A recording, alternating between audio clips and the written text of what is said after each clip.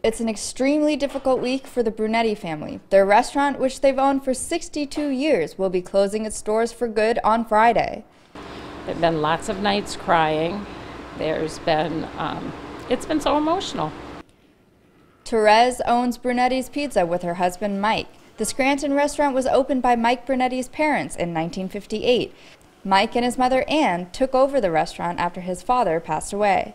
Brunetti's Pizza closed its doors in March. Therese tells me her son contracted COVID 19, which was especially unsafe for both her and her husband because they both have immunosuppressed diseases. So that was kind of our breaking point that we have underlying conditions, Mike and I. We decided at that point it was just not safe for us to remain open.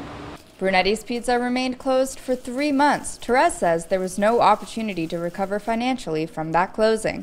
This week they're open to liquidate the store and say goodbye to their community and friends. Mother Amber, Ann Brunetti just called me today and told me the store was open, so I had to run down here and come in and get get maybe one last hoagie or one last piece of pizza before it closes forever. The popularity of Brunetti's Pizza is far spread. People have come um, yesterday, an hour and a half drive from upstate New York, they took back nine trays of pizza and all the goodies and everything else. She says another girl started a GoFundMe to see if they could keep the restaurant open.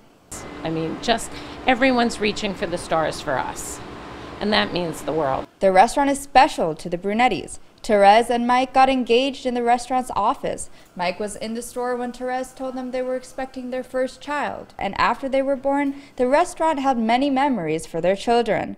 Mike's mother, Ann, was a staple in the restaurant as well, working there until she was 86 years old. It was only after a fall two years ago that Ann had no choice but to retire. She was really the, the backbone of the business. Um, everybody loves Ann Brunetti. Um, Therese says Brunetti's wouldn't be what it is without the community. Whether you're having highs or lows or you need, you know, a little extra help in a snowstorm, we have neighbors that just show up and start helping. Um, we've been so blessed. So, I mean, it's really the community that's an extended family of ours. Uh, I'm really going to be sorry to see this place go. He's been a fixture in the Greenridge neighborhood, and I uh, don't know what we're going to do without them. After it closes, the building, the property, and the restaurant's liquor license will go on sale. If it doesn't sell, it will be auctioned off on August 15th. In Scranton, Rafti Janaswamy, Eyewitness News.